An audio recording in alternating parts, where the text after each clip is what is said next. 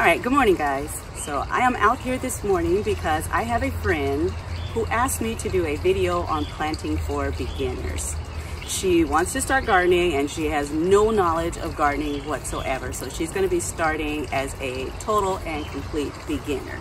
So because I've been working on this area over here, I decided that I would actually do a kind of step-by-step um, instruction video as to putting plants in the ground. I'm not going to be doing any sowing today. This is simply going to be planting and it's going to be from a beginner standpoint. So we're not going to be talking about soil testing or pH balance. Um, personally, I think that when you're talking to beginners and you start talking about acidity and you know alkalinity of a soil, it kind of puts them off a bit. Not only that, I don't want to discourage people who don't have the money to pay for soil testing or to be buying soil testing kits. You know, I just want this to be fun for the home or backyard gardener, you know, just to get started. You know, just, you know, the basics as to what you may need and um, putting plants in the ground. So that's what I'm going to be out here doing today. So I'm going to be talking in a step-by-step -step sort of process just to help out those who are just getting started. So you know what, you guys stay tuned and I'm gonna take you guys along with me. Good morning, family. Good morning, family. Don't forget, grow some trees, grow some food, grow something.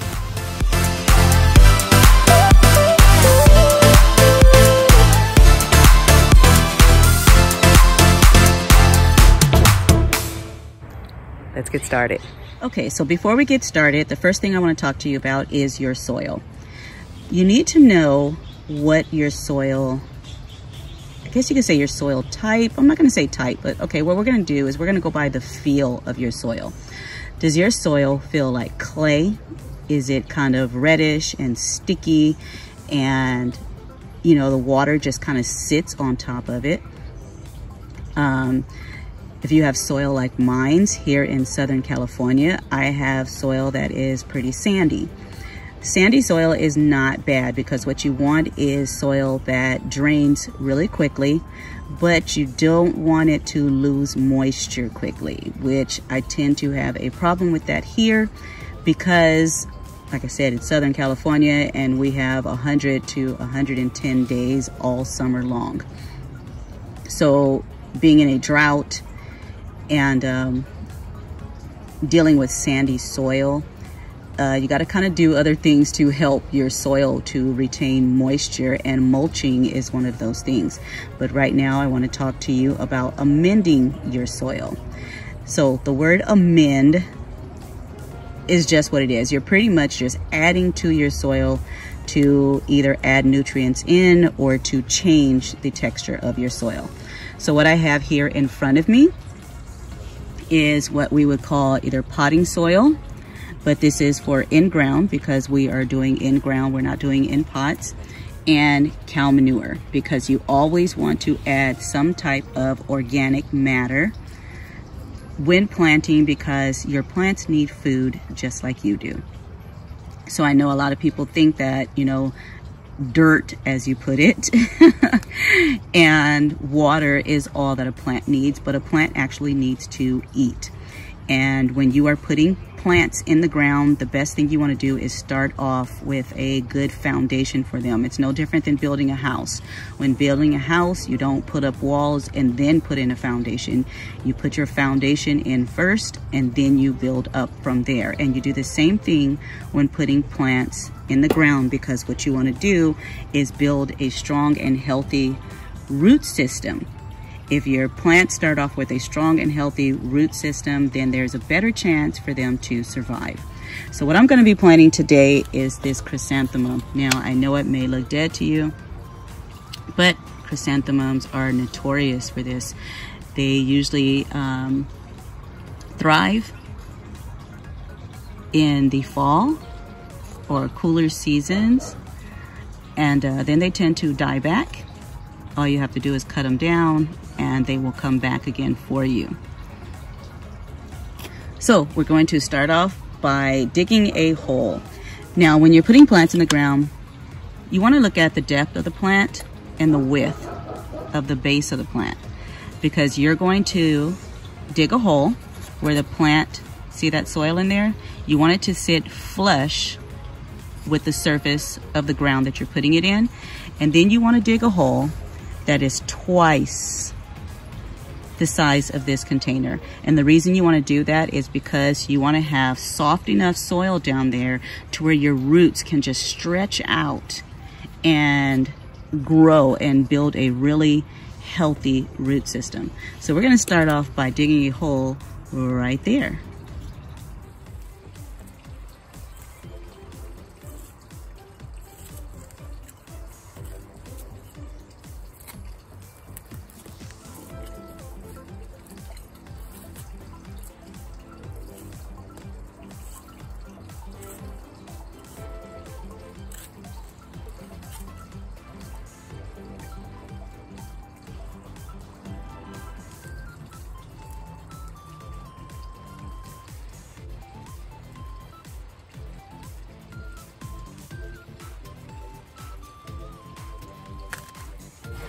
You do have clay soil or soil that, um, depending on where you're growing, if you're planting next to things like a driveway or a work area and you're not sure what has come in contact with the soil,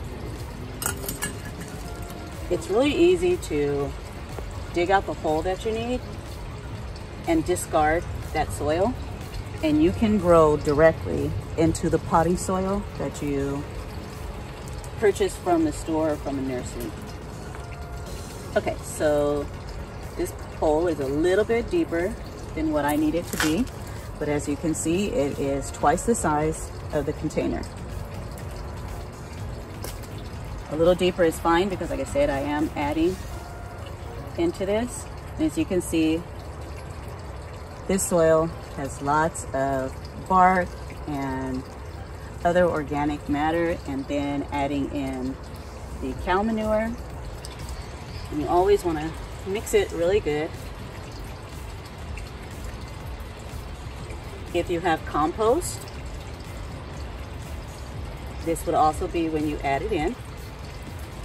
Compost is also organic matter that is pretty much made from things like vegetable scraps and grass clippings and other organic matter and all it is is food for your plants. So what I'm gonna do is all the old stuff you see on here, I'm gonna be cutting that off.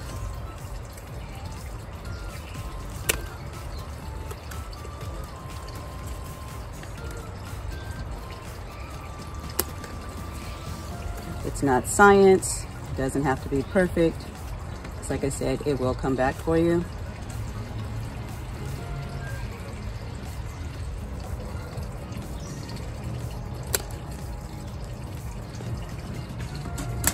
Okay, so we've got most of that off of there. Still got a few ugly pieces, but um, just want to kind of squeeze to loosen that up a bit so it'll just slide out for you. Now, like I said, these have been in the pot for a very long time. But it's not root bound. So if it was root bound, you'd see all of these roots just wrap, wrap, wrap really tightly. But all you do is you just loosen just a little bit because what that does is it encourages all of these roots to stretch out and grow. I'm just gonna sit that down in the hole. I'm going to add a little more of the manure. If you know the word fertilizer, that's what this is. Now, this would be a good time to water it in because you want to make sure that all of that water gets down into those roots and it doesn't just sit on top of the soil that you are adding back into the hole. So we're gonna water a bit now. We're gonna fill that hole back in and then we're going to add more water to that.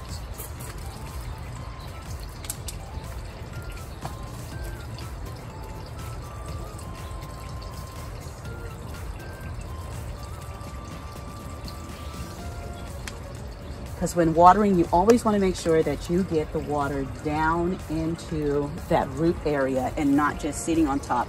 You don't want to water the foliage. You want to get down in there where the roots actually need all of that moisture, all of that water to help them maintain and to build a strong root system so that you can have a strong plant above. That's not enough water, so I'm gonna go and get some more and add that in there.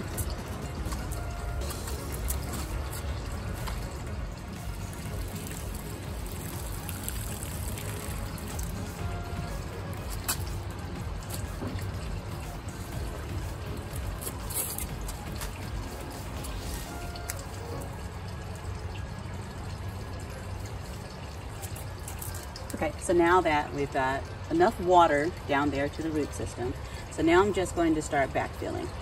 So what I like to do is I take my native soil, my manure,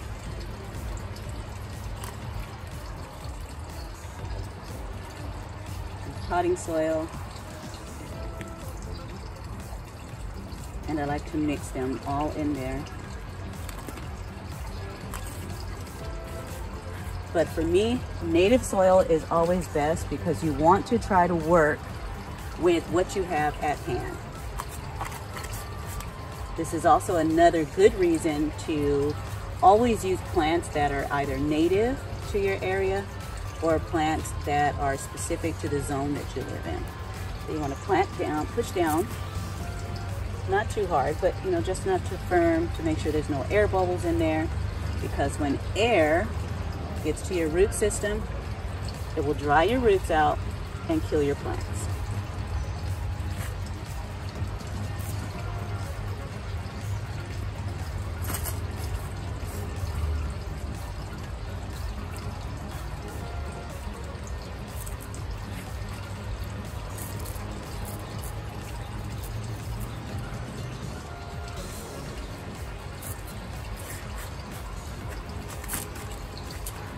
Want to add more water. I'm going to clean that off a bit. When you do that, it also kind of lets you know the level that you have your plant at because you don't want water running off and not actually getting down, like I said, to your root system. You don't want it at a slope unless you are planting a plant that needs to be sort of healed up. But this is a chrysanthemum and it doesn't need to be healed. The water doesn't need to wash away from it. So here I can see that um, it's going to run off into my little patio here. So all I'm going to do is build a sort of little basin around my plant so that the water will stay.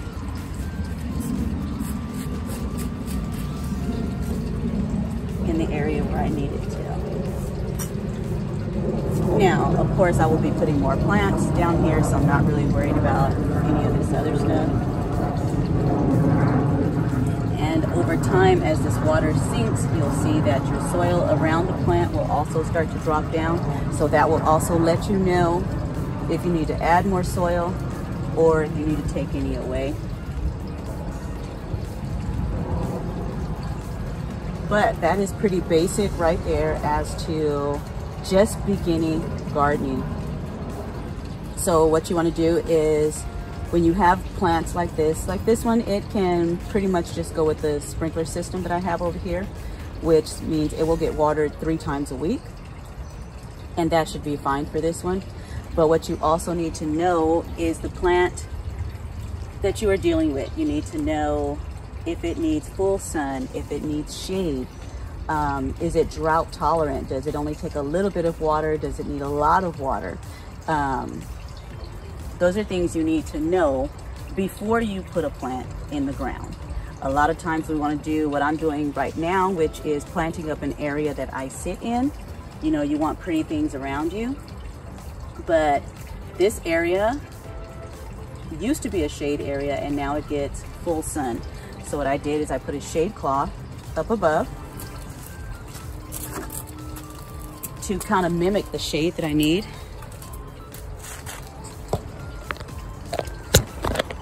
In the summertime. And then in the winter time, the shade cloth can be removed. Now what I do have is another plant here. This is Society Garlic. Now, Society Garlic is a drought tolerant plant. It takes full sun. It needs very little care. It has also been in its container for over a year and I need to plant it out. This is a very, very low maintenance plant. However, it is also a plant that will spread. It clumps. I can actually take this plant and divide it. And wow, one, two, three, four, five, six, seven. I probably have 12 plants in here just from this one plant.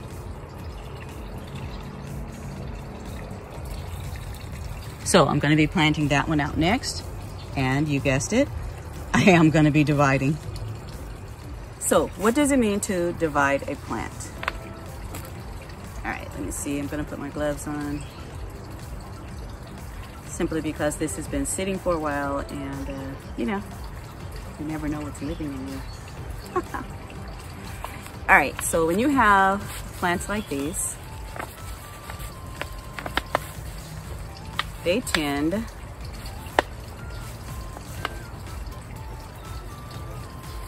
to, I guess you could say, reproduce themselves. Do you see that root system? All those roots. But that is because there are several plants in here. Look at that.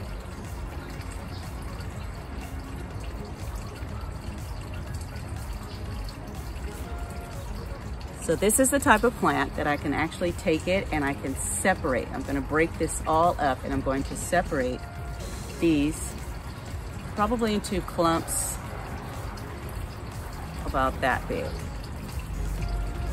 So from this one plant, I'm probably going to do about eight plants. And this will continue to do the same thing and give me more and more plants. And if I choose, I can go ahead and separate these after they've grown into bigger plants and spread those out all around my garden. Or I can just let them grow into what we call clumping plants. So let's get started separating this guy. Okay, separating this guy is not hard. It's gonna look a little brutal. but it's not actually hard and it's not going to hurt it. So, you know what? You get a couple of spots here.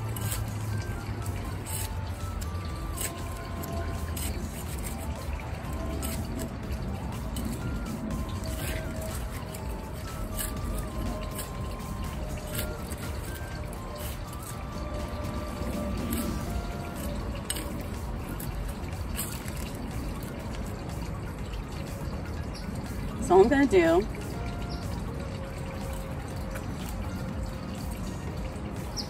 kind of slice into it.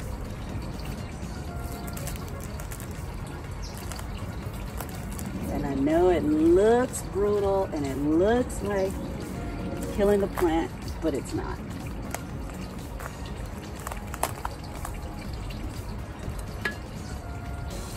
See that?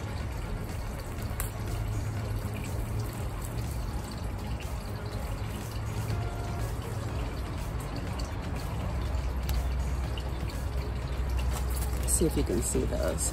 See those little bulbs?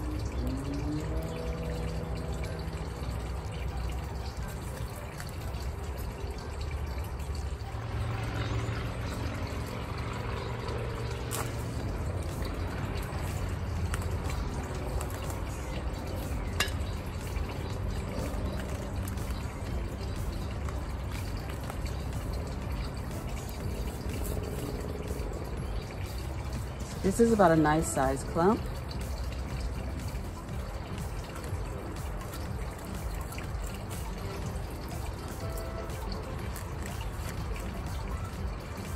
Not too worried about cleaning this guy up. Usually when I do, I just stuff the stuff down in the hole also. Now these guys prefer sandy, loose soil. And Society garlic will last a long time for you. It is actually one of my oldest growing plants in my garden. It's one of the first things I planted when I bought this house. And the one that I have on the other side over here is almost 20 years old. And we're just going to backfill. Once again, you want to make sure there are no exposed roots. Everything that was below the soil is still below the soil. And then you want to add water.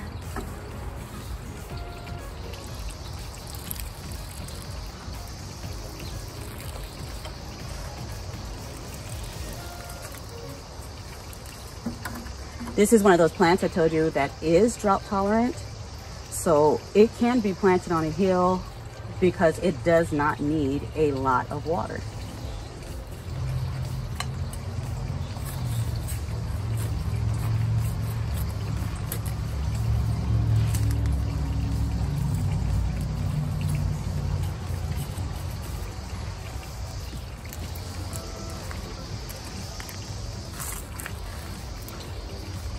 Going to repeat the same thing on this side.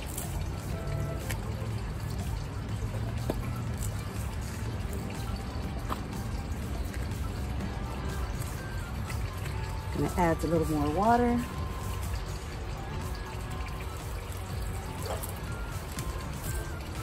Gonna let that drain a bit. And then we're gonna backfill.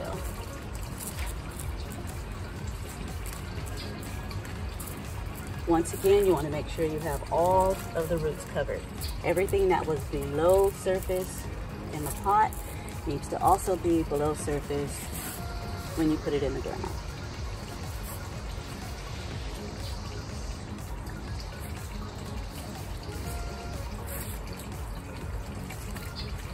And then we're going to add a little more water.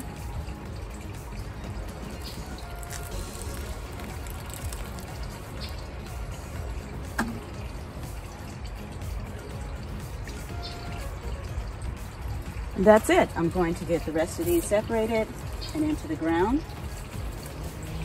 so I know I didn't give you too much of a good view of that before. So this is what its root system looks like. And then if you look up here,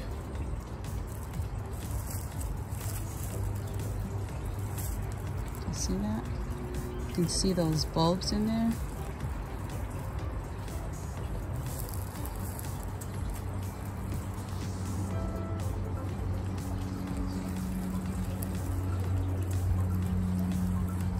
That's what you're separating. So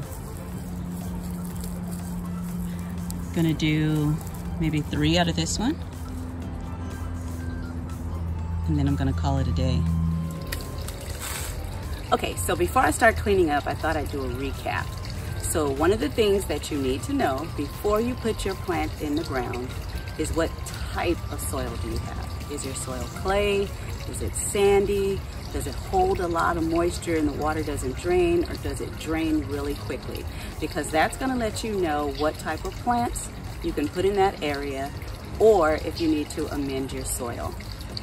So before you plant, you always need to make sure that you have either some kind of amendment for your soil in addition to a fertilizer, whether it be an organic matter like manure or compost or you can buy store-bought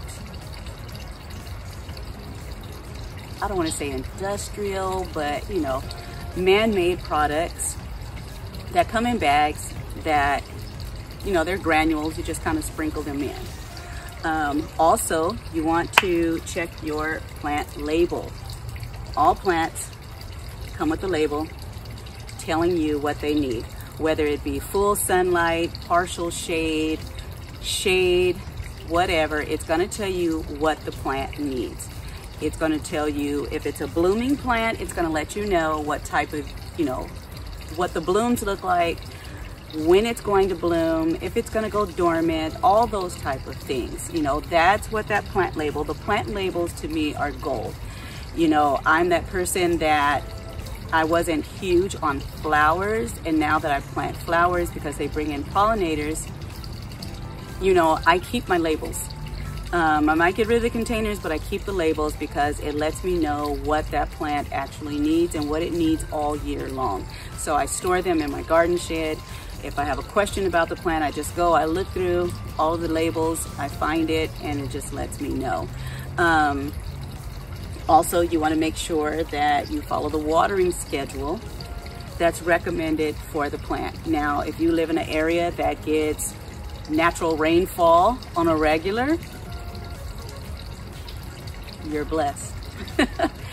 if you're in Southern California like me and we get rain that adds up to one month out of the year, you're gonna have to water your plants.